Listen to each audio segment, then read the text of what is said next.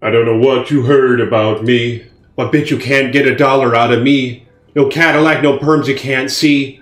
Then I'm a motherfucking TOAD. What a joker. What's up, homies? It's your boy, Iceman. So some fucked up shit happened last night. And it hurt my fucking feelings. I broke my back. Man, I didn't know this shit, but I was running a game with a bunch of fat, slimy toads, right? One of those tier 4 map games, those co-op games and shit. This is hardcore. I so folks is worried and shit. But yeah, uh, we was running, man, and there were three assassins. One of them was my boy Conway. Nonetheless, I mean, there was like a 98 Sorc there. There was all sorts of cray cray shit.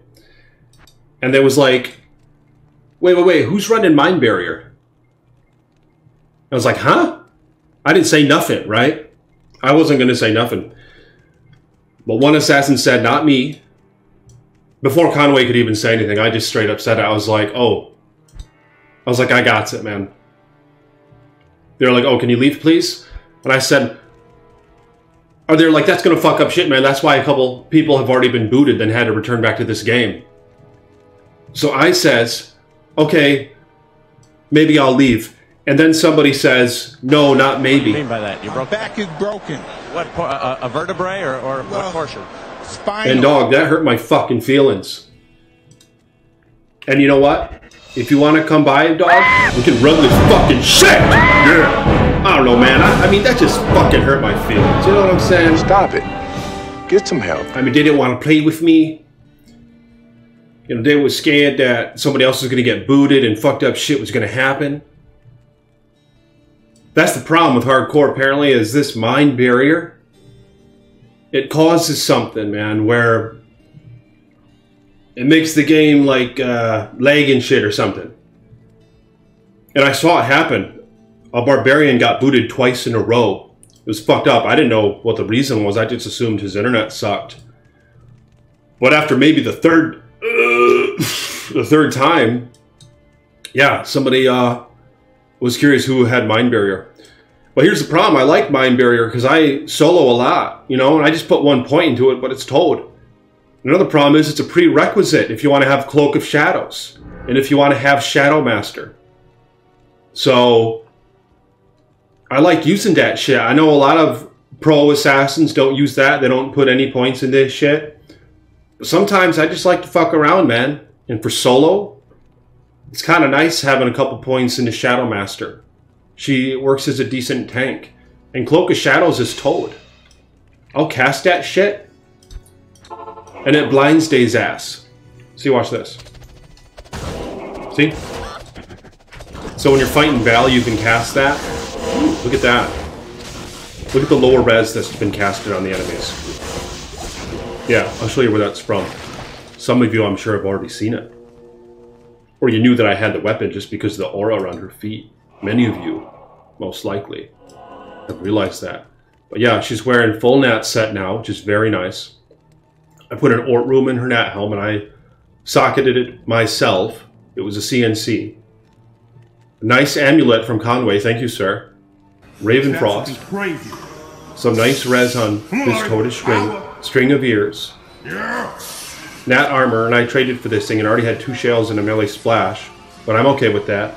Her hit recovery is pretty high. But I gotta check the breakpoints. It's probably worthless kind of where it's at. It's probably in some middle ground or some shit. I think 80, it's like 89, maybe less than 89, 87. I don't know what the breakpoint is, but I want to hit that. So I'll probably get some charms with uh, hit recovery. Then we're in this shit. But check this out. I traded my Chaos Claw for this. And I know why the guy did it. He came to the game and he showed me this. I said, bring Plague. So he joined the game. And he had the Plague. And I was like, I don't know what the fuck I'm going to offer for this thing. I just want to see if I get lucky, which is why I did it. You know, sometimes I'll make games and I'll just, you know, it's, it's worth trying. Holy shit! Look at this! Are you kidding me, dude? Holy fuck. It's been ages since I found a rune, man. I haven't even found a high rune this ladder in Hardcore. The greatest rune I found was a Gul rune in the pit with my druid. Holy shit.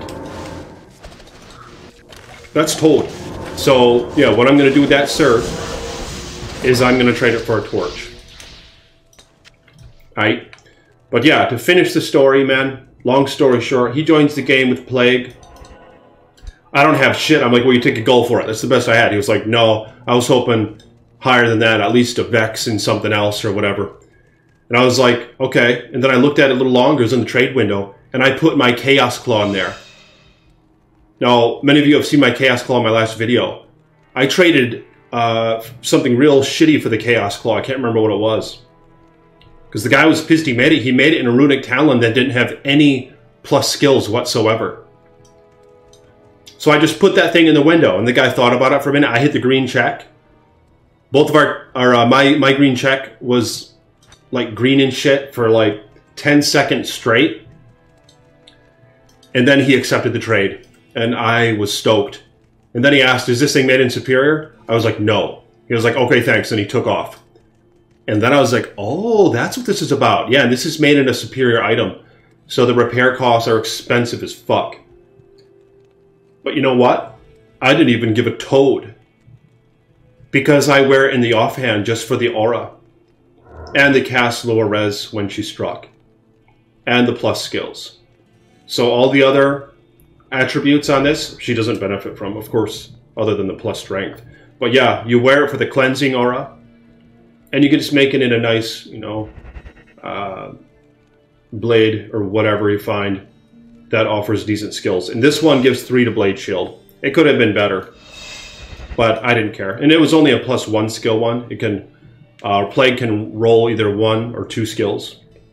But yeah, that's how I got that Plague, man. It's toad as fuck. Um, it's been a good time because when you're in Chaos Sanctuary, of course, Cleansing Aura reduces curse duration, reduces your poison duration. What you need? Those two are really big. You know, in the Chaos Sanctuary, they'll cost Decrepify on you, and Baal will cast Decrepify on you. And it slows you down. It's annoying as fuck. I'm gonna imbue this thing.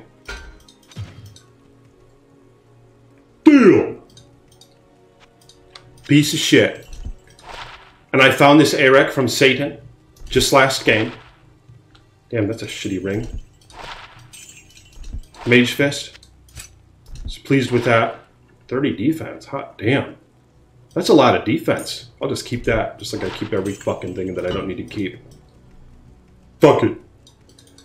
Um, it's been a damn good time, man. Nat set is so toe. Check this out.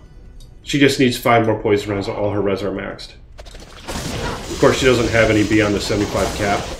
But I mean, if you wanted to, you could go that route. You know, you could put like a low rune in Nat's armor. Some folks wear this shit for a long time.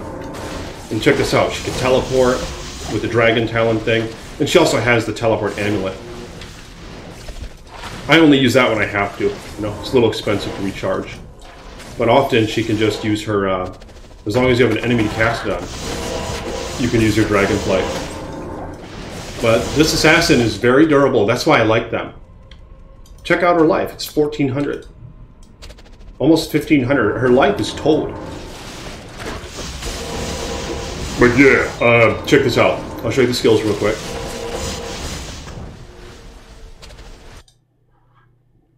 So, just uh, some basic points in this shit.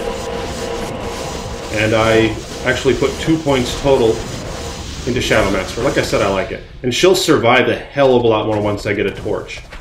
Then she'll be level 12. Yeah, and she'll survive like a thick-ass total. That'll be really nice. And here's her traps.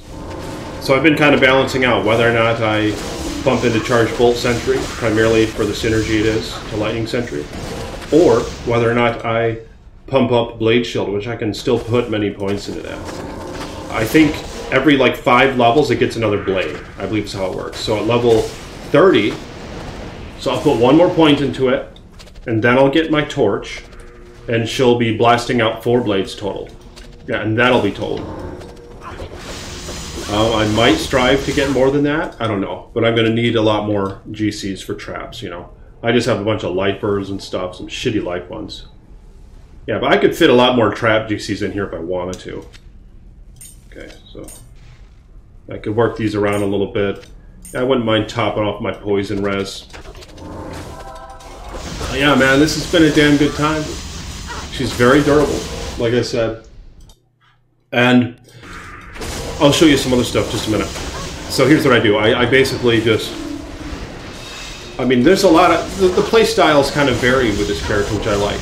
You know, that's why I like to put one point into Blades of Ice, because it's it's active then, and you're actively attacking shit. Now you can see here, she does a damn good job. With one point of Blades of Ice, man. That's all it needs in its current iteration, I think. Um, especially if you have an ITD weapon. So you don't have to consider um, pumping up Blades of Ice just to get more attack rating. Of course, for bosses you'll need it, because ITD is ineffective toward bosses.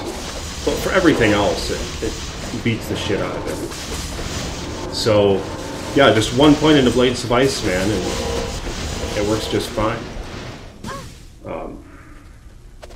Because, um, check this out. Um, if you do put more into it, I think it's just a bitch, because it's just going to cost more mana every point you put into it. And it's just going to gain a little tiny bit of cold damage. It's just very minuscule. You see that?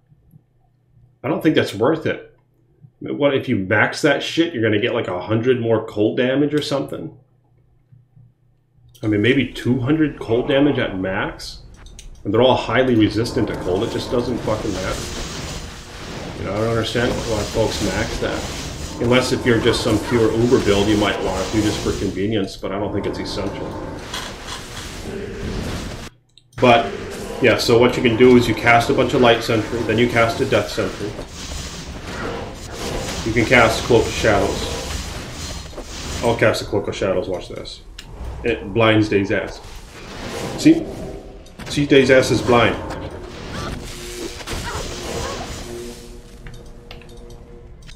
Man, now, see, I was thinking about trading a Gul and a Rack for a Torch, but I don't think many people were going to have it.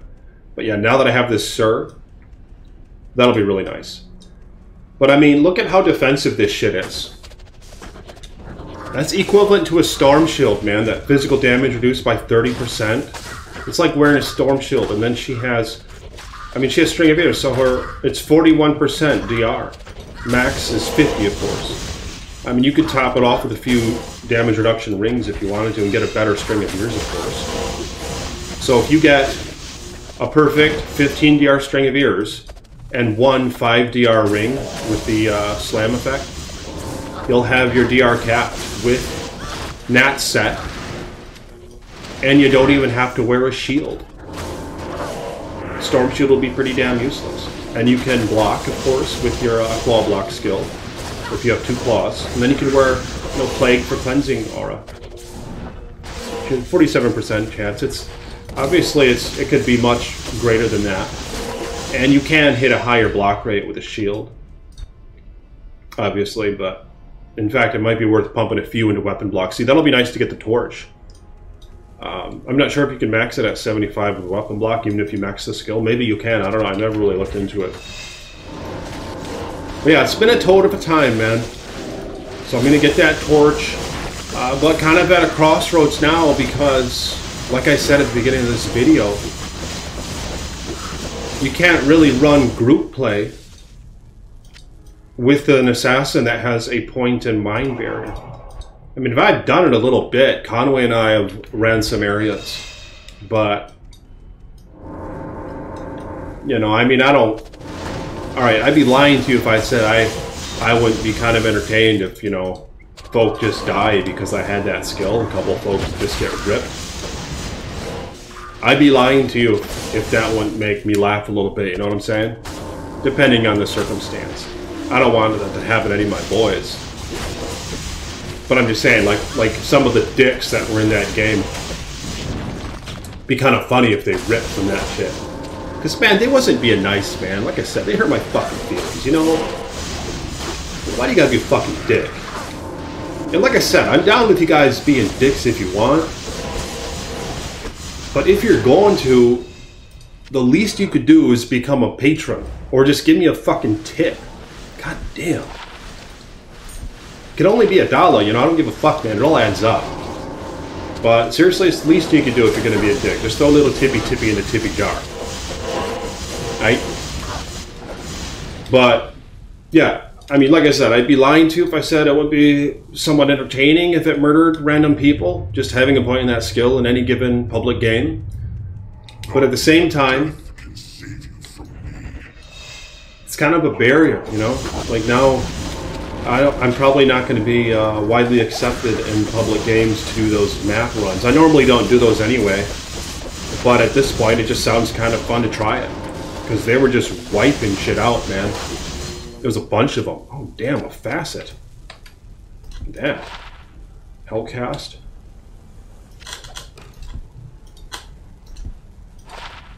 Four, five, fire. Or five, four, fire. Okay. Pretty nice. I'm not sure what that goes for right now. But yeah, if you guys will like the video, uh, become a patron if you want. And I'll be talking to you guys soon. Peace be with you.